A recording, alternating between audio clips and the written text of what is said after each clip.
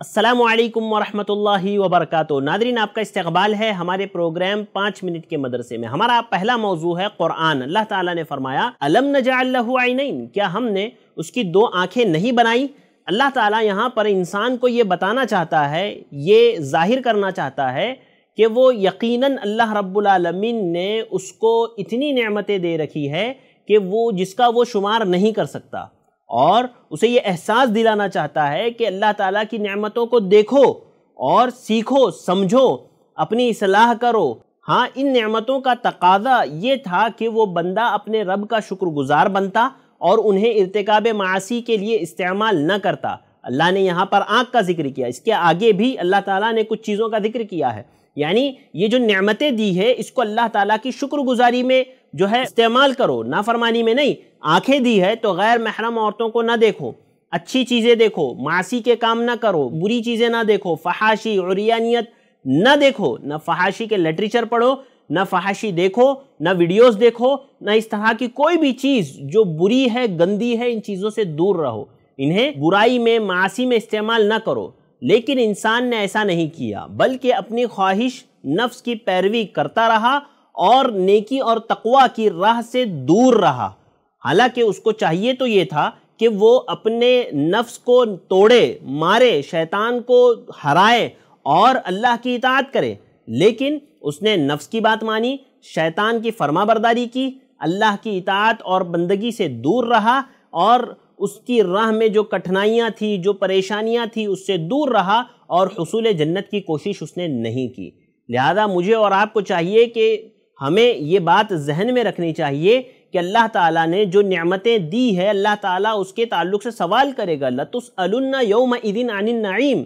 अल्लाह ताला हर हर नियामत के ताल्लुक से सवाल करेंगे, पूछेंगे कि जो नियामतें अल्लाह ताला ने दी है, उसको हमने कहाँ पर सर्फ किया। अभी आगे की आयतों में भी अल्लाह ताला ने कुछ नियामतों का ज़िक्र किया है इन उसको हम लोग जो है दूसरे जिम्न में देखेंगे। नादरीन चलते हैं हमारे आज के दूसरे मौजू की तरफ़। आज का हमारा दूसरा मौजू है सुन्नत। सुन्नत में आज हम बात करेंगे जोहर की सुन्नतों के ताल्लुक से। हदीस देखिए अनिबन उमरा काला सल्लैतुमान नबी सल्लल्लाहु अलैहि कबल ज़ुहरी व रकातैन बादहा हज़रत अब्दुल्ला उमर रदी अल्लाह तआला कहते हैं कि मैंने नबी करीम सल्लल्लाहु अलैहि वसल्लम के साथ जोहर से पहले दो रकातें और उसके बाद दो रकातें पढ़ी है। यानी जोहर से पहले दो रकात सुन्नत और जहर के बाद दो रकात सुन्नत। हज़रत अब्दुल्ला इब्न उमर कहते हैं कि अल्लाह के नबी के साथ मैंने जहर से पहले दो रकात सुन्नत पढ़ी और जहर के बाद। और दूसरी रिवायत में जो हज़रत आयशा रदी अल्लाह तहा से है, फरमाती हैं, अन्न नबी सल्लल्लाहु अलैहि वसल्लम कान ला यदउ अरबान कबल दोहरी वरकातनी कबल गदाती कि अल्लाह के नबी सल्लल्लाहु अलैहि वसल्लम जहर से पहले चार रकात और फजर से पहले दो रकातों को आप सल्लल्लाहु अलैहि वसल्लम नहीं छोड़ते थे। यानी आप सल्लल्लाहु अलैहि वसल्लम जोहर से पहले चार रकात पढ़ते और फजर से पहले दो रकात सुन्नत पढ़ना नहीं छोड़ते थे, यानी आप इसको पढ़ते थे।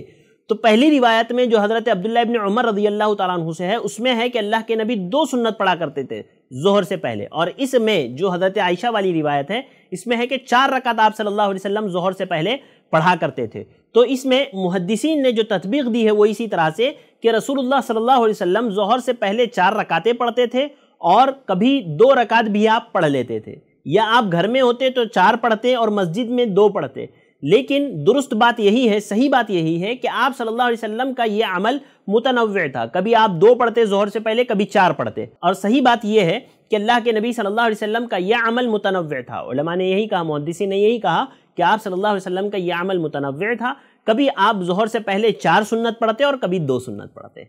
तो मुझे और आपको भी चाहिए कि हम इस पर अमल करते रहें।